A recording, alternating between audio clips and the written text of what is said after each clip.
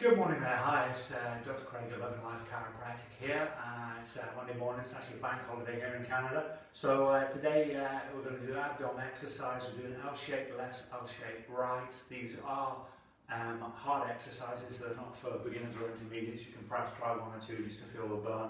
But uh, don't push yourself on these unless you've done a few. I do about 15 at the end of my abdomen exercises, excellent way to, to end three sets of 15.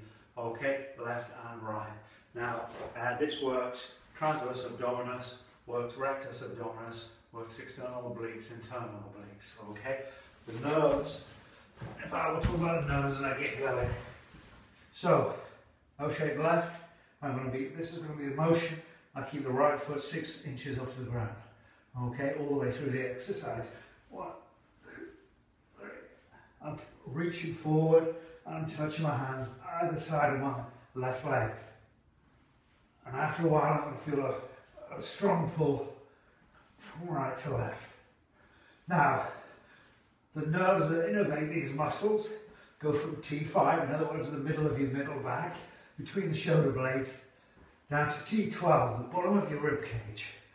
Also, those nerves go to the liver, the upper ones go to the liver, the spleen, the pancreas, all the way down to the small intestine. So change our shape right now, reach the other side, and I'm feeling the burn already. So we're going to do those 15 either side. Three sets of those, and that's really to get things working. Okay, I hope that's of use to you. My name's uh, Dr. Craig at Loving Life Chiropractic, and uh, good luck with your morning.